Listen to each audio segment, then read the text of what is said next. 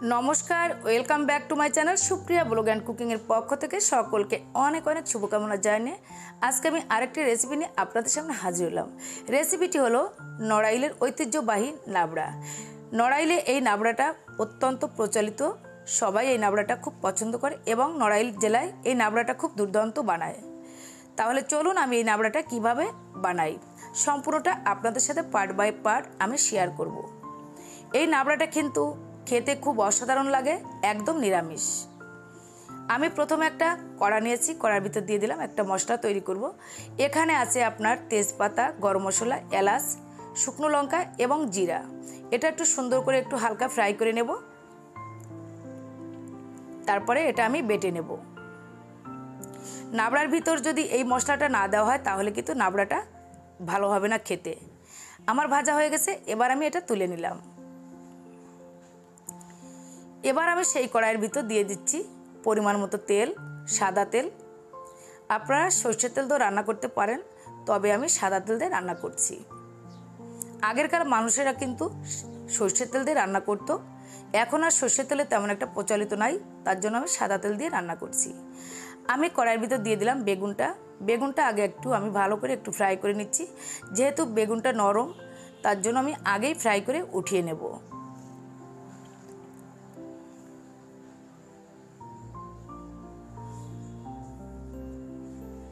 নড়াইল জেলায় যে কোনো বড় বড় খাওয়া দাওয়াতে এই রেসিপিটা প্রত্যেকটা খাওয়া দাওয়াতে এটা ব্যবহার করে বা তৈরি করে। তার জন্য ভাবলাম আপনাদের সাথে কিন্তু আমি এই রেসিপিটা অবশ্যই শেয়ার করতে পারি। আমার বেগুনটা ভাজা হয়ে গেল, এবার আমি দিয়ে দিচ্ছি সেই তেলের ভিতর চারটে পটল।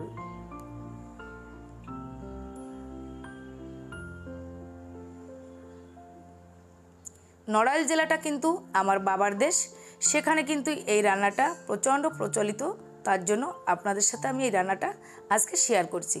অবশ্যই আপনারা এই রান্নাটা একবার ট্রাই করবেন, দেখবেন কতটা খেতে লাগে ভালো। আর এই রান্নাটা কিন্তু একদমই নিরামিষ হবে। কোনো পেঁয়াজ রসুনের ব্যবহার এখানে হবে না। আমার কথা বলতে বলতে পটলটা ভাজা হয়ে গেছে, এটা আমি এখন তুলে নিচ্ছি। এবার আমি ওই তেলের ভিতর দিয়ে দিচ্ছি ফোড়নের জন্য। একটি তেজপাতা, সামান্য পরিমাণে পাঁচফোড়ন আর একটা শুকনো লঙ্কা। এবার আমি দিয়ে দিলাম গাজর কুচি। গাজরটা আমি ডোবো ডোবো করে কেটে নিয়েছি। তারপরে দিয়ে দিলাম আলু। অবশ্যই নাবড়াতে আলুটা দিতে হবে। আলুটা না দিলে কিন্তু লাবড়াটা মজবে না এবং খেতেও কিছু ভালো লাগবে না। তারপরে দিলাম কুমড়ো। কুমড়োটা অবশ্যই দিতে হবে। লাবড়াটা রান্না করতে গেলে।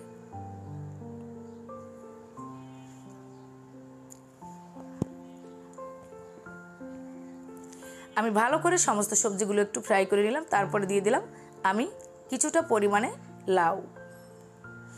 আপনার এখানে অন্য সবজিও অ্যাড করতে পারেন, পেঁপে, তারপরে আপনার অন্য অন্য যে ইয়ে আছে সেটা আপনি ব্যবহার করতে পারেন। যেমন বাঁধাকপি, ওলকপি, এটাও আপনারা দিতে পারেন কাঁচা কলাও দিতে পারেন। এবার আমি দিয়ে দিলাম কিছুটা পরিমাণে কাঁচা লঙ্কা চেরা। ঝালটা যে যেরকম খেতে পছন্দ করেন, সে সেরকমটা দিয়ে নেবেন।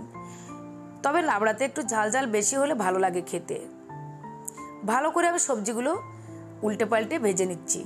এবার আমি দিয়ে দিলাম এক চামচের মতো হলুদ গুঁড়ি।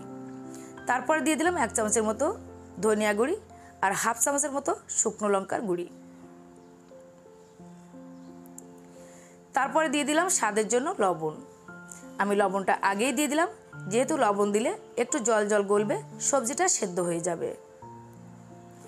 সবসময় রান্না করার সময়, যদি ভাজি করার সময় তরকারিটা একটু লবণ দিয়ে নেন, তাহলে কিন্তু লবণ থেকে যে জলটা গলবে তাতে কিন্তু সবজিটা কিছুটা পরিমাণে সেদ্ধ হয়ে যাবে।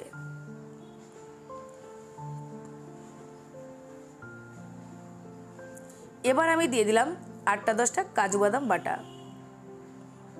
তারপরে দিয়ে দিলাম এক চামচ আদা বাটা, এক চামচ জিরে বাটা। অবশ্যই মশলাটা, সবজিটা একটু ফ্রাই করার পরে মশলাটা দিবেন। তা না হলে যদি প্রথমেই আপনি মশলাটা দেন, তাহলে পুড়ে যেতে পারে। খেতে কিন্তু বেশি ভালো লাগবে না। এই জন্য নাবড়া বা শুক্তনি রান্না করার সময় যদি আপনারা যে কোনো মশলা যদি সবজির ভিতর দেন, তাহলে কিন্তু ভালো হবে খেতে। ভালো করে আমি একটু নাড়াচাড়া করে নিচ্ছি। হালকা আছে আমি নাড়াচাড়া করে এবার আমি ঢাকা দিয়ে রেখে দেবো চার পাঁচ মিনিটের জন্য। নাবড়াটা রান্না করতে গেলে কিন্তু একটু সময় লাগবে। এই যে দেখুন কতটা পরিমাণে জল গলেছে, এতেই কিন্তু নাবড়াটা সেদ্ধ হয়ে যাবে।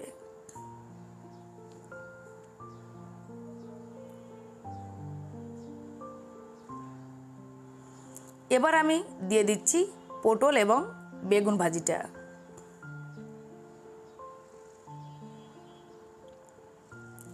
এটা দিয়েও ভালো করে আমি একটু নাড়াচাড়া করে নেব অনবরত। যত বেশি ভাজা ভালো হবে, তত কিন্তু খেতে বেশি ভালো লাগবে। তার জন্য একটু সবজিটা ভালো করে ভেজে নেবেন।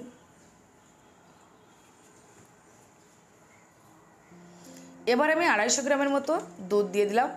আপনারা এখানে খালি জলও দিতে পারেন, কোনো সমস্যা নেই। তবে দুধ দিলে খেতে বেশি ভালো লাগে, তার জন্য আমি দুধটা দিয়ে নিলাম।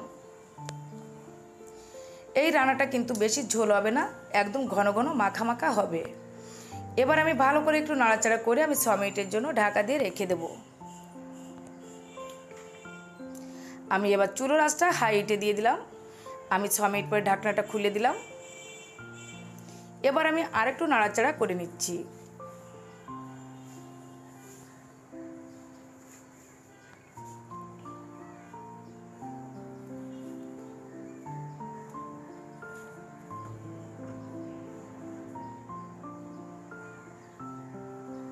আমার সবজিগুলো গলে গেছে। এবার আমি আরও কিছুটা জাল করে নেব। আমি ঢাকা দিয়ে আরও চার পাঁচ মিনিটের মতো রান্না করে নিলাম। ঢাকনাটা উঠিয়ে এবার আমি আরেকটু নাড়াচাড়া করে নিচ্ছি। এই যে দেখুন, প্রায় আমার হয়ে গেছে, ঘন হয়ে এসেছে। এবার আমি অন্যান্য উপকরণ যেগুলো আছে, সেগুলো দিয়ে আমি ঢাকা দিয়ে রেখে দেবো দশ মিনিটের জন্য। এবার আমি এক চামচের মতো চিনি দিয়ে দিলাম। অবশ্যই লাবড়াতে চিনি ব্যবহার করতে হবে, তা না হলে কিন্তু খেতে বেশি ভালো লাগবে না। আমি চিনিটা দিয়েও সুন্দর করে একটু নাড়াচাড়া করে নিচ্ছি।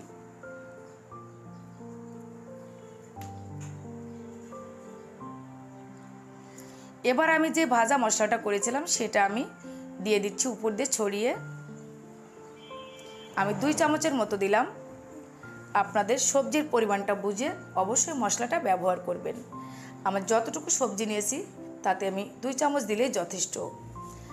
আমি মশলাটা দিয়েও সব ভালো করে একটু নাড়াচাড়া করে নিচ্ছি।